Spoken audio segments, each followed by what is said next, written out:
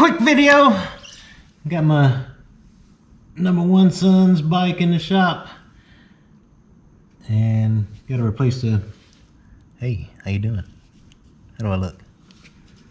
Look good. got a dry wire valve stem, won't hold air. So I'm gonna mark where the uh, chain is, or the um, position of where the um, chain wear indicator is. And also, you'll find notches on both sides of the swing arm to help you keep your rear tire aligned. I'm gonna mark these.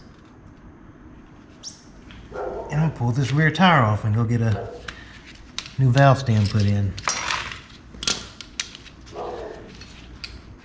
There's a cotter pin on this side to keep the castle nut in place so the nut won't come off when you're riding. And we won't reuse this one, we'll put a new one in.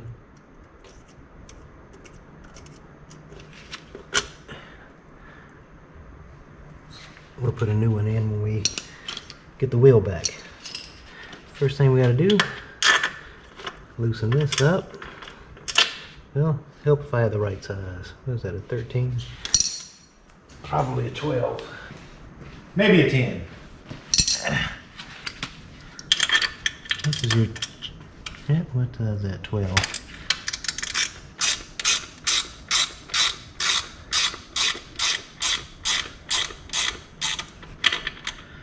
You want to loosen this enough. So once you loosen this bolt, you can slide the tire forward so the chain can, you can take the chain off the sprocket. Then you can take the wheel off.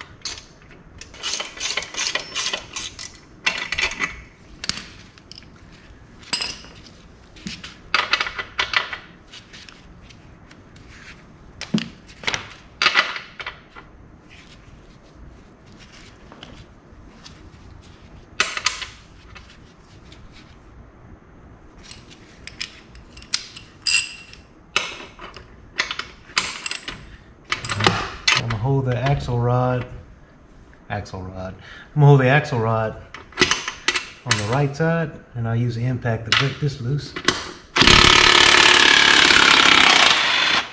There we go. Pull them all the way off.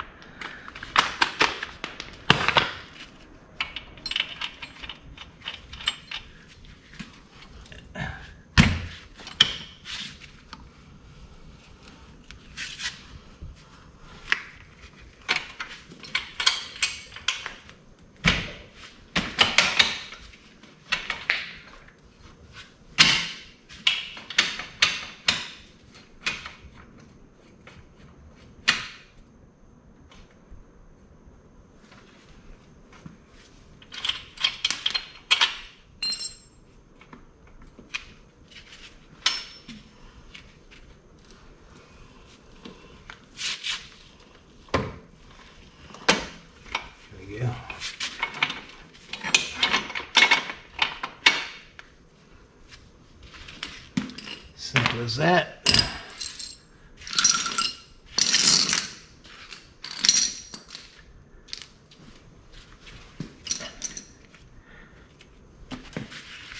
Put the rod out.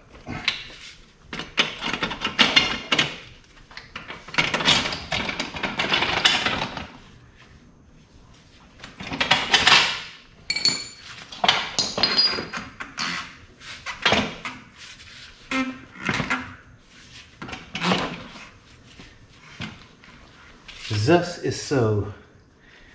This is a space there that goes in between here and